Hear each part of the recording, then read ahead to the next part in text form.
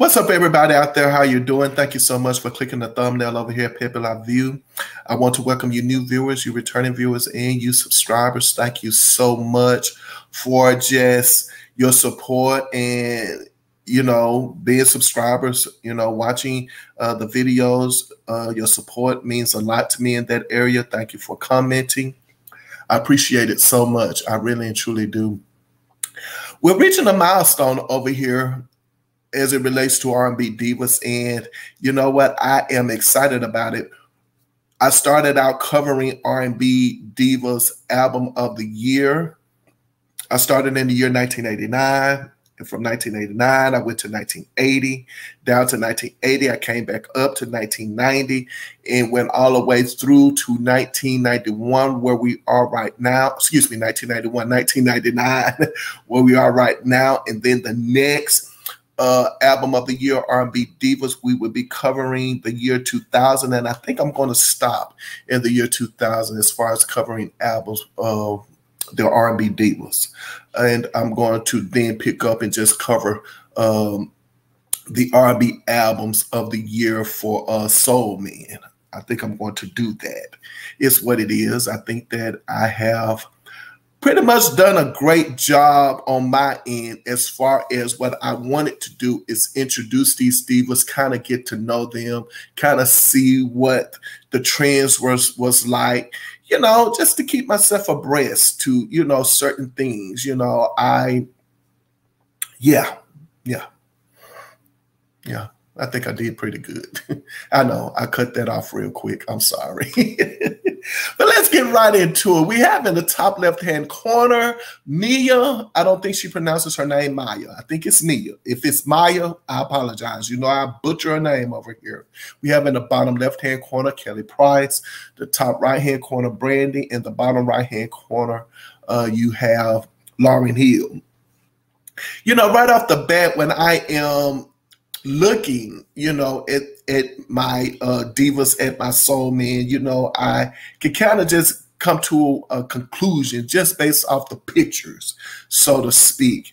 And I said this once before, I'm going to say it again. You know, it, it could be the times. You know, the times are changing, trends and everything, they're changing as well. And so I have to just really and truly just stop and have to consider that when I'm talking about my R&B divas, because I'm used to what I would call R&B divas who could definitely, you know, like I, I, mean, their voices was is probably as big as the stage and as big as the band, you know. And you know, I'm not finding that. You know, I don't think that you know the R&B divas I've covered in the '90s. I'm not saying that I want people to understand it. I'm not saying that they cannot sing. There's just a style of singing that came along in the 80s that I appreciated.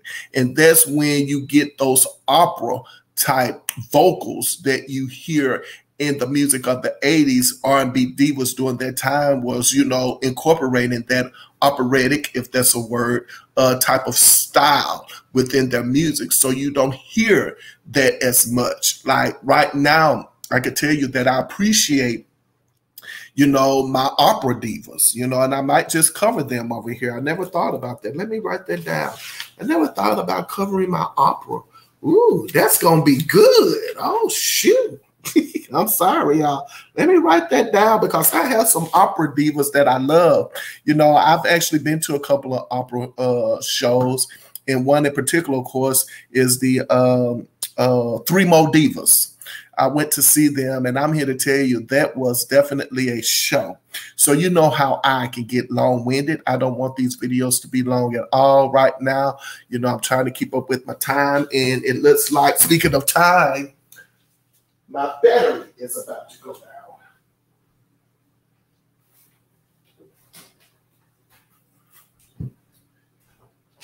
I'm sorry about that. I'm about to lose power. And I don't want to do that. So I apologize. Hopefully I can catch it before it shuts off. But anyway, all right, there we go. So uh so that's a style that I'm used to and I, I, I just appreciate it. Anyway, moving right along. We're at the five minute mark, and let's see if I can do this in five minutes. these who we have, I think Maya and Kelly Price. This is their new album. This is their first album out. So congratulations, ladies, just being nominated on your first time out. And then you have Brandy and Lauryn Hill, who are, you know, kind of knee deep in albums, you can say. Uh, Brandy, if this is the year 1999, right? And as it relates to Brandy, I know Brandy came out in what, 1992? And so she came out in 1992. I'm just going to guess this might be her third album. No, this is her second album. So mm, that's interesting that she didn't release an album, you know, two years after her first release. But anyway, it is what it is. So this is her second album. Okay, congratulations to her on that. I know that first album was definitely um, one of my favorite albums by uh, Brandy. You know, you're young, you're in high school, and you remember all of that uh, music, you know, with her and Queen Latifah and Yo Yo and MC Lyte when they did the remix to uh, what is it? Is it I Want to Be Down? Is that the one they did the remix to? I could be wrong. I'm not quite sure, but they did a remix to that album. I think it was I Want to Be Down. Yeah, they did a remix. And I'm here to tell you when they did that remix, oh my gosh, like I can't tell you what that was like at the time, you know, being in high school. and when that remix came out, I mean, everybody was like just bananas for that particular remix. You know, Brandy was already, you know, a household name with the single I Want to Be Down just right off the bat. I mean, we loved Brandy and embraced her immediately. And I definitely think that she was marketed to you know the young audience at the time so you could say she's definitely one of those kid kid stars you know that they definitely did not try to mature as i think about it now it looks as if brandy matured with her audience and i think i like that about her now that i think about it you know she, we the, the age she was and she just kept maturing, you know. And the only thing I could think of, of course, is that, you know, uh, that pregnancy and marriage fiasco that she had, but they was trying to keep her image squeaky squeaky clean and polished and i understand that but you know that was almost kind of like a downfall but we those of us who you know was the wiser you know we looked at it and we was we raised our eyebrows and we shrugged our shoulders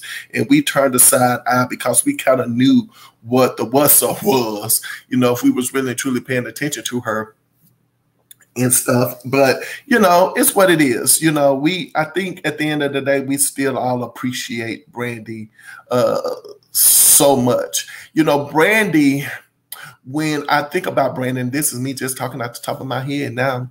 You know, when I think about Brandy in her relationship with Ray J, her brother, and I think about uh, Toni Braxton in her relationship with uh, Tamar, it's almost kind of like, you know, siblings, you need to stay in your lane. Sorry, you, you know it's it's kind of like you know Ray J don't come for Brandy, Tamar don't come for Toni. You know, it's one of those kinds of things. Like I don't know why I was thinking about that. It was kind of like just know your place, so to speak. So Brandy comes out, and to me, I didn't have the album, so I'm only aware of the singles that were released from that album. Uh, and of course, you know, she had that major hit with The Boy's Mine, uh, which was um, a major major hit uh, for her, you know. And of course, Have You Ever, which I believe was a Diane Warren song. And I like that song a lot. I, I did.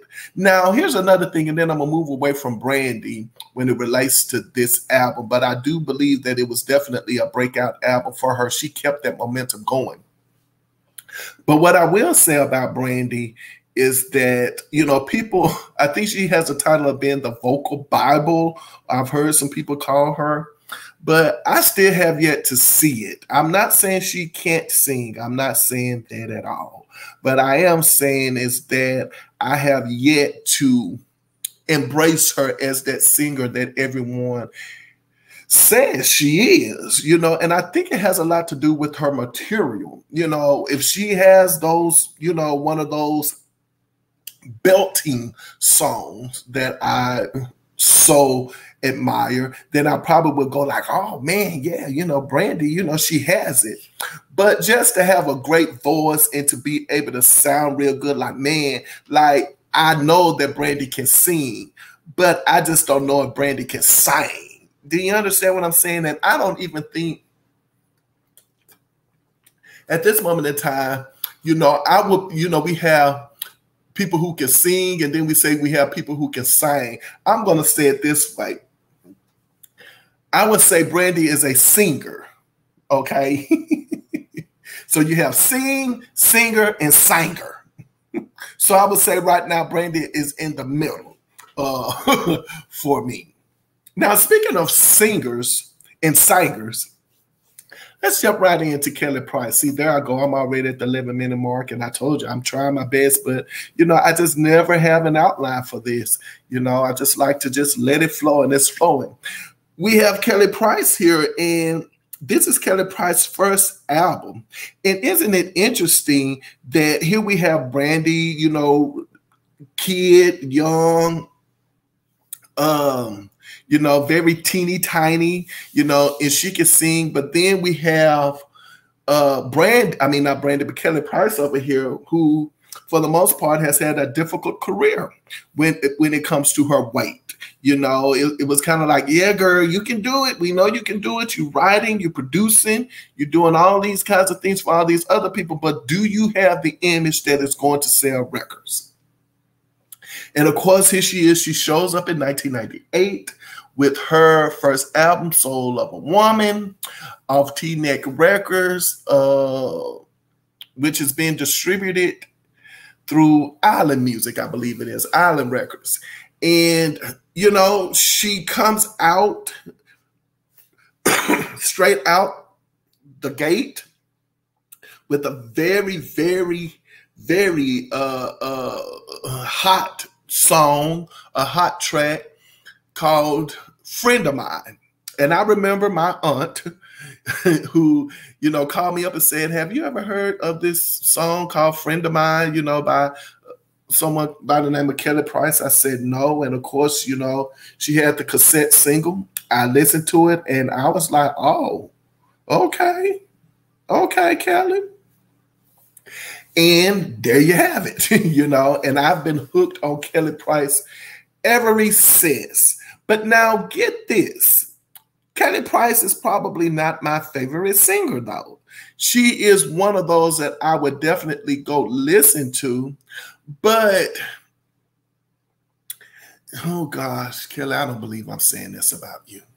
I don't. But I'm gonna say it. Kelly Price is one of those shouting singers, one of those yelling singers, one of those loud singers. Uh, maybe like you know people would say that they don't appreciate about Patti LaBelle. Kelly Price would be one of those, and of course she grew up in the church, so she's used to belting out her songs, you know, and and, and squalling, you know, and you appreciate that. I think when it comes to church but I don't always appreciate that when it comes to singing, you know, just songs in general. You know, I just felt like at the end of the day, Friend of Mine was a great record. It was just a loud one. but it is what it is. So congratulations to her. I appreciate you so much, Kelly Price. I do. Uh, Kelly Price definitely has my respect as a singer songwriter and a producer. You know, that's pretty much when I. It, it's weird when I think about my R&B divas. The thing that I appreciate about them most and that I gravitate to them very quickly, I gravitate towards a, to gravitate to an R&B diva quickly if she is a songwriter, a producer, or a musician. That to me lets me know that she definitely can hang in there with the guys. And that's what I like most about her because this is a business where you definitely have to have you know be respected and if you're not respected you got to make sure that you can do what the guys do and even better you know and that's what I like most about Kelly Price. So for me, you know, she's definitely, you know, hands down in that category to me. I appreciate her so much for that. Uh, speaking of writing and producing, you know, we have Lauryn Hill over here. You see how I just flow? See, like I said, I just like my conversations, you know, even with myself, like they just flow, you know. And speaking of that, writing and producing, we have Lauryn Hill over here. And Lauryn Hill is definitely uh, one who is writing her music allegedly. and I say allegedly simply because, you know, of that wasn't she like sued for regarding this album? You know, a few years after it was released, because people were uh the producers or the writers on the album was saying that, you know, she didn't contribute uh that they wrote the majority of the album. And now that I think about it, this is her only album, and that album was all over the place oh gosh, that album was all over the place. But yeah, I think that she ended up uh, having to pay some of the writers and so on and so forth, uh, and musicians who claimed that they, you know, well, they did a lot of the writing and producing as well. I just said to you like that. A multi-platinum album. I'm not quite sure how many albums that record sold. I mean, that record was all over the place. I I, I would like to think that that is definitely uh, sold anywhere between five to ten million albums. I'm sure of it. I'm almost sure. I'm sure that record was bananas. And then you have over here well, I, I, you know what? I can't. I guess when we talk about singing,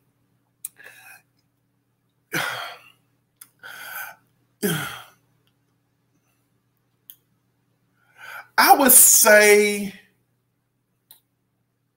Lauryn Hill's reputation as a writer to me is not tarnished. I don't think so. Whatever happened with that album and what people were saying about that album. I don't think no, I don't think that it was tarnished. Her reputation as a writer was tarnished.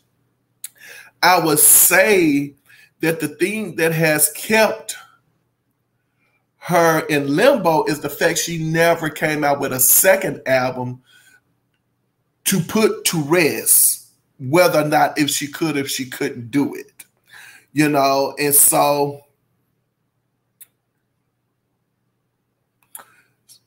Yeah. So the guys on the album, some of the guys on the album, I think they call themselves New Ark, A-R-K. They filed a lawsuit against her and her management and the record company saying that she used songs, of, uh, she used their songs and production skills, but she did not give them credit. And they uh, claimed that they were the primary songwriters on a couple of tracks. And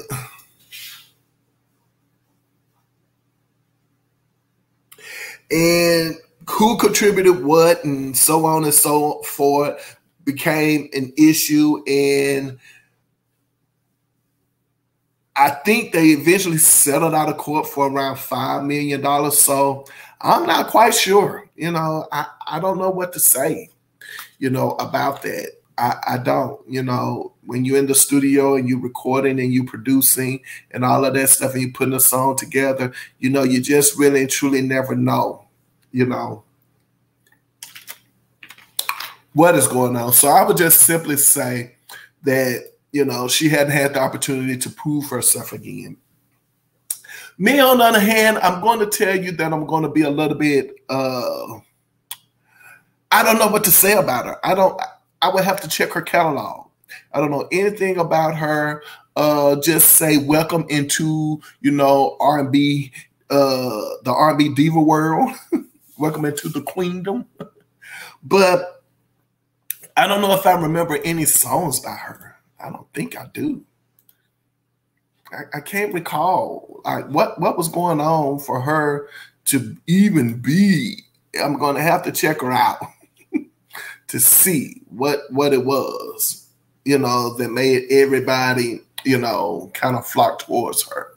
So as we ending this, and I know we were talking about albums, and you probably saying, well, he talks about them a lot, but he doesn't talk about the songs and all of that. Well, we'll get there. I'm talking about the diva, and I'm using this as an opportunity to introduce these divas. You know, I think that if they got to the point where they were nominated for, you know, in Soul Train Music Award, that the album was great in most cases. Um, so we'll talk about that. And of course, as you know, Lauryn Hill is the one who actually takes home the award for Album of the Year, uh, female at the Soul Train Music Awards in 1999. so congratulations to her. So, anywho, on that note, we're going to end the video. Yes, that's right. We're going to end the video with the R&B Divas uh, album of the year, 1999. And don't forget over here that I believe in you putting your behind where your heart's desires to be. I appreciate you guys for, you know, your support. Not only that, Also, whenever I leave my mother's presence, she always tells me, Baby, remember, I love you, but God loves you best. I love you guys out there. Thank you so much for your support. I hope that you're loving yourself because, as it was told to me, if you don't love yourself, how can you love somebody else? But guess what? You can love somebody else if you don't love yourself, but what good is that? anyway. I'm looking forward to seeing you guys next video. And until then, you know what to do. Take care of yourselves out there.